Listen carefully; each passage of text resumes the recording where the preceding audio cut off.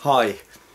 Now I call my YouTube channel Woodomain because my interest in woodworking spans across quite a broad spectrum from building guitars to making fine furniture and also building a bird hide.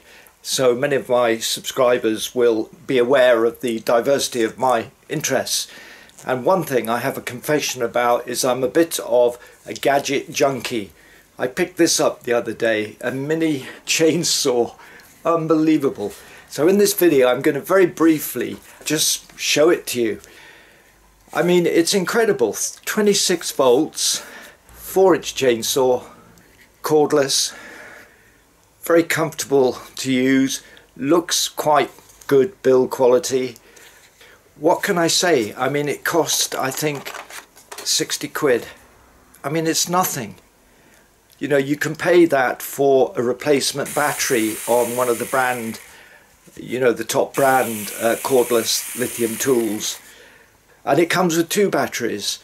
I guess what I'm doing is I'm sharing my excitement but also my kind of um, disbelief almost that power tools can be produced at, at, this kind of quality. I mean, it's not going to last forever, but it's it's an occasional, you know, use tool. Rather like a lot of my power tools, I use them just occasionally so I can get away with using DIY tools. You know, if you're a tradesman uh, working eight hours a day, then of course you've got to have a really beefy professional power tool.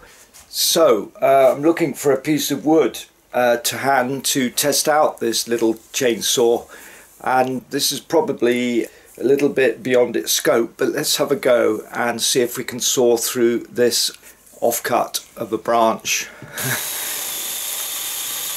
Obviously it's designed to cut smaller uh, diameter wood. But you know, a chainsaw is a chainsaw. It's a versatile tool. But this is quite incredible. It's lightweight. I mean, what can I say? Well, what I can say is please subscribe to my channel because you'll be surprised at the diversity of my interests from high-tech to using hand tools in woodworking. Thanks for watching.